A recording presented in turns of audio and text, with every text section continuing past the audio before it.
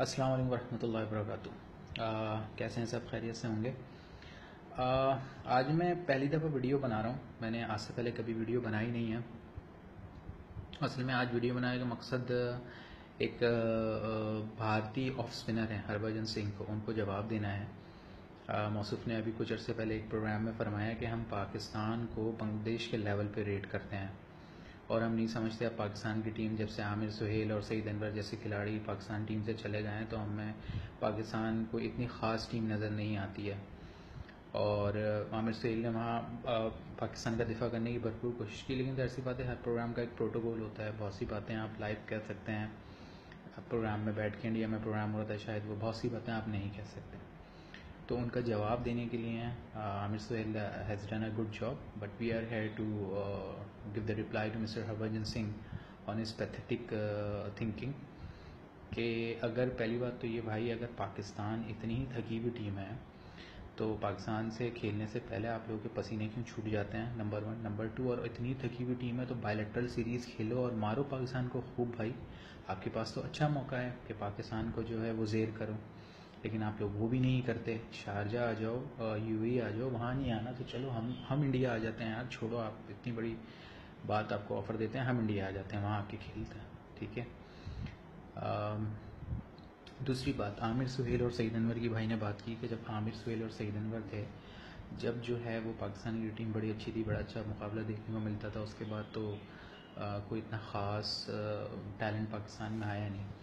तो मेरे भाई आमिर सुहेल तो मेरे ख्याल से 96 और 99 के दरमियान क्रिकेट छोड़ चुके थे। सईद अनवर ने 2003 के वर्ल्ड कप के बाद क्रिकेट छोड़ी। लेकिन सईद अनवर उससे पहले तकरीबन क्रिकेट छोड़ चुके थे, क्योंकि वो तबलीग की राह में लग गए थे तो वहाँ मसरूफ़ रहते थे। तो हज़ार तीन के बाद से ही आ जाएँ, चलें, जब से सईद अनवर ने क्रिकेट छोड़ी। आमिर सुहेल तो बहुत पहले छोड़ चुके थे।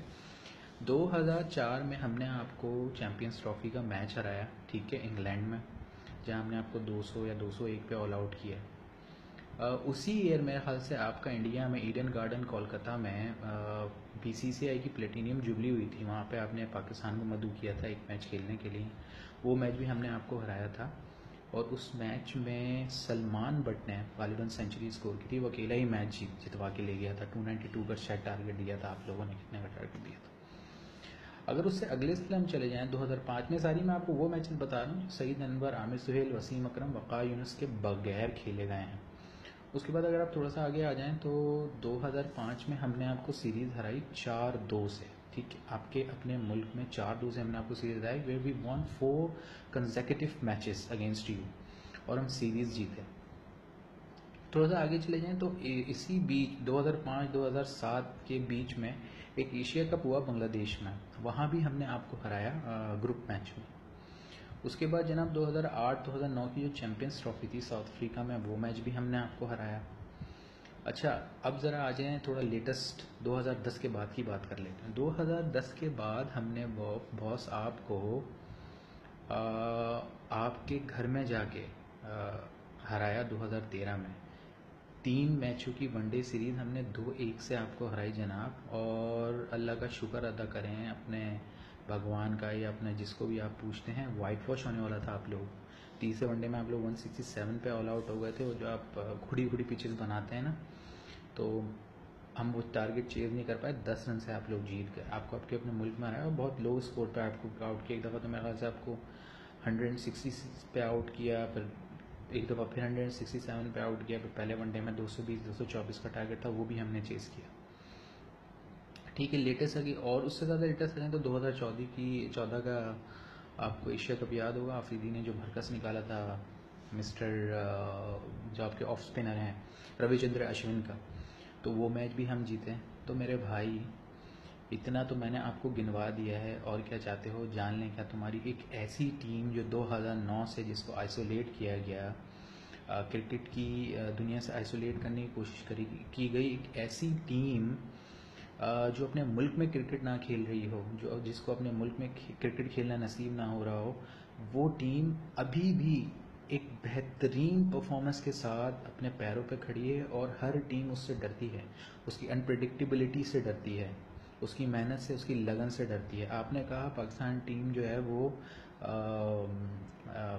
एज अ टीम होके नहीं खेलती। मेरे भाई, अगर एज अ टीम होके पाकिस्तान टीम ना खेलती ना तो ओनली एशियन साइड है who have won the series in South Africa no Asian side yet won the series in South Africa हमने जीता। दो एक से हमने साउथ अफ्रीका को वहाँ पे मारा। जो कि बहुत मुश्किल काम है। आप आप क्रिकेट खेलते रहे हो। You know the better the situation of South Africa where batting is not been you know an easy task वहाँ पे हमने साउथ अफ्रीका को हराया। और उसके अलावा भी हम बहुत सी टीमों को वेस्ट इंडीज़ को अभी हमने रिसेंटली हराया। वेस्ट इंडीज़ को आप, आप लोगों को टी ट्वेंटी में वेस्ट इंडीज़ ने आपके साथ सीरीज़ बराबर की। हमने टी ट्वेंटी में वेस्ट इंडीज़ को तीन एक से हराया। तो मेरे भाई बड़ी बोल बड़ी बातें करने से तौबा करो ठीक है? अपने भगवान या जिसको भी आप पूछते हो उससे ये दुआ मांगो कि आप पे ये हाल ना आ जाए कि आपसे आपके मुल्क से आपकी क्रिकेट ख़त्म हो जाए। मेरे भाई, सड़क पे आ जाओगे आप लोग। बुरा हाल हो जाएगा आप लोगों का, क्योंकि आप लोग नहीं खेल सकते क्रिकेट अपने मुल्क से बाहर। आप लोग अपनी पिचेस को फुल बैटिंग पिचेस बना के, वहाँ पे जो है फ्लैट पिचेस बना के बड़ी बड़ी टीमों को मार देते हो, साढ़े तीन तीन सौ अस्सी रन बना के। तो मेरे भाई, इतना आसान नहीं है। जिस दिन आपके मुल्क से क्रिकेट ख़त्म हुई, उस दिन आपका बेड़ा गर्क हो जाएगा। कहने को हमारे पास भी बहुत कुछ है। लेकिन हमारी तहजीब और तमद्दन हमें इस बात की इजाज़त नहीं देती कि हम किसी नेशन का बैठ के मज़ाक उड़ाएँ किसी नेशन को डिमोरलाइज करें किसी नेशन की तजलील करें। तो लिहाजा हमें जो है वो आ, कोशिश करें कि हमारे सफ़र का पैमाना लवरेज ना हो। वरना हमारे पास भी कहने को बहुत कुछ एक और इंडिया क्रिकेटर सहवाग साहब ने कहा कि हमने अपने पोते को हराया रिसेंटली जो इंडिया ने वार्म अप मैच में बंदेश को हराया। अब बारी है बेटे की। अब हम बेटे को हराएँगे। तो मेरे भाई, बेटे को हराओ। बिल्कुल हराओ आप। और ये याद रखो कि यही बेटे, आपके इसी बेटे की टीम का एक बॉलर आपको बॉल कर रहा था। तो आप अपने दूसरे एंड पे खड़े बैट्समैन को बोल रहे थे कि, भाई बॉल दिख नहीं रहा है, मैं क्या करूँ? तो ज़रा हल्के आ जाओ मेरे भाई, हल्के आ जाओ। हो सकता है कल हम हार जाएँ, हो सकता है कल आप हार जाओ। क्रिकेट को एज अ गेम लो, सही है? क्रिकेट के ज़रिए नफ़रत निकालने की कोशिश नहीं करो। ठीक है ना? इससे दोनों कौमों के दरमियान दरार डालने की कोशिश मत करो। क्रिकेट या कोई भी खेल होता है, वो कौमों को जोड़ने के लिए खेला जाता है। इसलिए नहीं खेला जाता कि आप नफ़रतें पैदा करें एक दूसरे के लिए। मौका मौका गाना आप लोगों ने बनाया। हम भी बहुत से मौके मौके गाने बना सकते हैं। हमने आपको 128 वनडे इंटरनेशनल में से 71 हराए आप 51 जीते हैं। 21 से 22 वनडे का डिफरेंस है हमारे आपके दरमियान। और टेस्ट मैचेस की अगर बात करें तो 59 में से हम 28 जीते हैं। हम शायद 12 जीते हैं, सॉरी, और आप 9 जीते हो। टी ट्वेंटी में आप लोग का रेशियो अच्छा है because we have played more matches T twenty matches in the world cup bilateral series बहुत कम हुई है अभी तक हमारी और आपके दरमियान टी ट्वेंटी मैचेस की। तो ज़रा स्टैट्स उठा के देखें और हम पहले भी जीतते आ रहे थे, हम अब भी जीतते आ रहे हैं। सईद अनवर हो, आमिर सुहेल हो, इंजमाम हो, यूनस खान हो, ये बहुत बड़े खिलाड़ी थे। लेकिन इसके बाद भी, अभी भी पाकिस्तान ने 2009 से पाकिस्तान में मुल्क में क्रिकेट नहीं खेल रहा। उसके बावजूद असद शफीक, अहमद शहजाद, बाबर आज़म मोहम्मद आमिर और सुहेब मकसूद जैसे बड़े अच्छे अच्छे खिलाड़ी पैदा किए हैं। ठीक है ना मेरे भाई? तो ज़रा हल्के आ जाएँ, थोड़ा ख्याल रखें। कहीं ऐसा ना हो कि आप पे वो वक्त आ जाए जो हम पे आए थे तो हम पाकिस्तान क्रिकेट टीम थी जो कुफवित कर गई। वरना कोई और टीम होती तो बड़ा मुश्किल होता अगर आप अपने घर में क्रिकेट ना खेलो। आपका टैलेंट जो है वो बिखर जाता है अगर आप अपने घर में क्रिकेट ना खेलो। उसके बावजूद हम टेस्ट में नंबर वन रैंक पर रहे। वनडे में हम लोग अच्छे रैंक पर आए हैं। हमारी क्रिकेट ख़राब हुई, क्योंकि ज़ाहिर सी बात है, हम लोग मुल्क में क्रिकेट नहीं खेल रहे, लेकिन उसके बावजूद we have won matches overseas matches also and in home series is also so Harbhajan Singh आपको जवाब देना बहुत ज़रूरी था, क्योंकि मुल्क का मसला था प्राइड का मसला था। और आइंदा ऐसी कोई बात करने से पहले ख्याल रखिएगा कि पाकिस्तानियों के मुँह में ज़बान है, हम लॉलीपॉप नहीं लेके बैठे हुए मुँह में, ठीक है ना? कल का मैच के लिए आपको, हिंदुस्तान वालों को भी गुड लक पाकिस्तान को भी गुड लक अच्छा मैच हो फाइटिंग मैच हो, कोई भी जीते, दोनों ममालिक को एक दूसरे की इज़्ज़त करना चाहिए। वसलाम पाकिस्तान जिंदाबाद, पाकिस्तान पाइंदाबाद।